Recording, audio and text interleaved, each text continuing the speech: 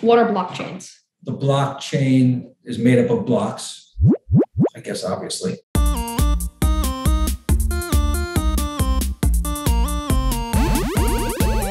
Picture this.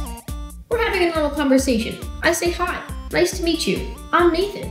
And then I go on to talk about some flashy new blockchain news, and you go on to not know what I'm talking about. That's fine. And you're not alone.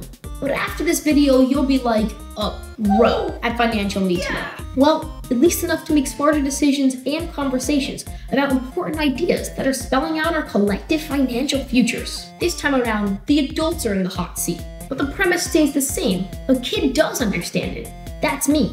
And they can too. This is blockchains, simply put. Let's bring in our guest. Hey Richie, what do you do for a living? I am a real estate broker in New York City. Well, that's pretty cool. Well, what do you think adults can learn from kids these days? What's going on currently?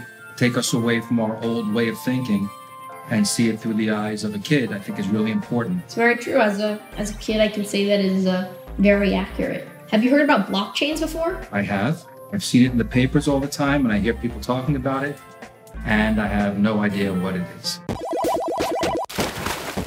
blockchains really, really aren't that hard to understand. Let's start with the word blockchains, right? It's already a visual. A blockchain is a puzzle set, and each block is a different piece. Specifically, a puzzle that only connects on two sides of each piece. Each piece of the puzzle, imagine like a little notepad, a piece of paper, tiny words written on it. We call these words data. Now, blockchains are a form of DLT. Do you know what that is? Fair enough. It stands for Distributed Ledger Technology.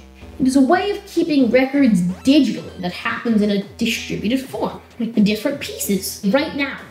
We are in different separate locations, but we're still talking to each other. Blocks exist to hold records, right? This can be anything from medical records, taxes, proof of ownership, and yes, of course, financial transactions. Let's talk about the three ways that they're secure hashes, proof of work, and decentralization. Do you know what those are by any chance? Um, not really.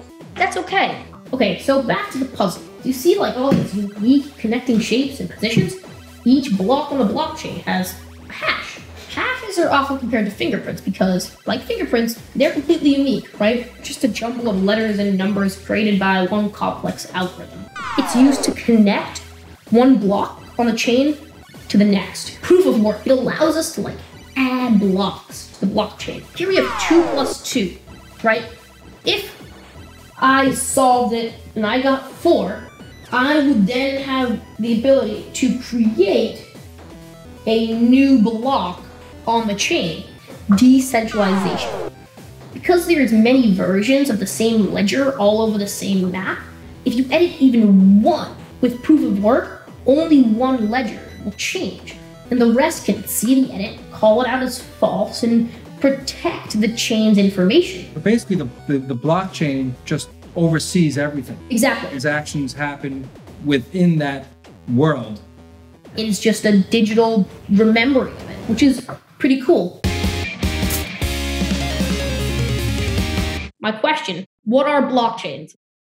Blockchain is a decentralized way of storing information. Each block is very protected um, by a thing called a hash, and a hash is made up of the huge numerical equation form of encryption. There are so many checks and balances within this blockchain that any kind of transaction that's not legit just isn't gonna isn't gonna fly. That's my Love to see it. Today we broke down one of the most important building blocks in digital currency and crypto anything. Thank you, Richie. You're officially as smart as an adult. this was blockchains. Simply put. Blockchains are so much more than cryptocurrency. We can use blockchains to sign or autograph documents, digital art, anything, or even to certify a fact check news story.